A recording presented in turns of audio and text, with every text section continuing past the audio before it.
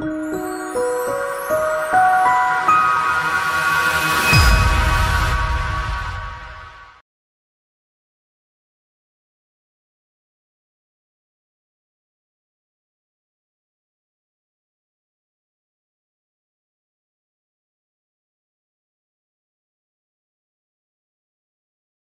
Dr. Lindsey and Wendy here. This is yet another one of our videos for the ISHRS uh, Beware of Black Market Hair Restoration Clinics uh, videos.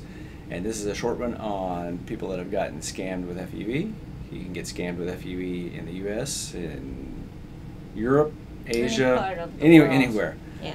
And we got lots of videos that go into why FUE works less consistently than strip does. But lots of people want FUE, and if you look at enough of my videos, I did an FUE on my own son, so I think it's worth doing. But you have to weigh out the pros and the cons and make sure you know know everything. So, case number one is the worst case we've seen, and this is a military fellow who uh, came in, and he is supposedly still making payments Well, he went three times.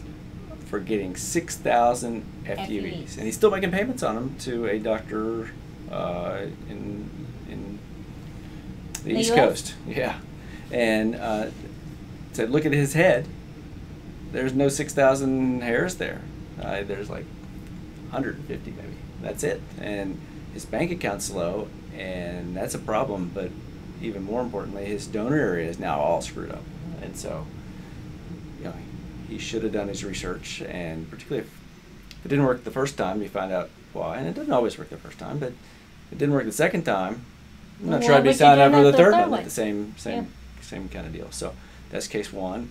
Here's case two, and this is a lady that uh, went overseas to get FUE in order to get a nice dense hairline, and it looks pluggy. with a bunch of twos and threes, uh, like mini grafts. So they were like big punches. Yeah, somebody, uh, and we know people here in the U.S. that uh, sell FUEs, but they're using a three millimeter derm, uh, dermatologic punch, and that's not FUEs. That's uh, old style Plugs. plugs. Yeah. Yeah. So, uh, and then here's another case of somebody that got uh, FUE scammed uh, in the U.S., and they were told that they'd have a thick, lustrous head of hair eh, with uh, a thousand FUEs, and it's just, I mean, you got hair there, but it, it's just thin, and so the person's very disappointed. And then what do you do? You they don't have an unlimited limited donor supply for us to, to harvest. So, uh, in summary, do your research. Don't become a victim of cheap scammery, uh, whether it's domestic or international. There are plenty of, of crazy talking people all over the world.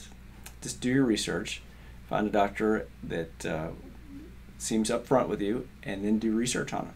Make sure you look at pictures of and videos if they have them of cases they've done, and talk to them about what the issues are before you sign up.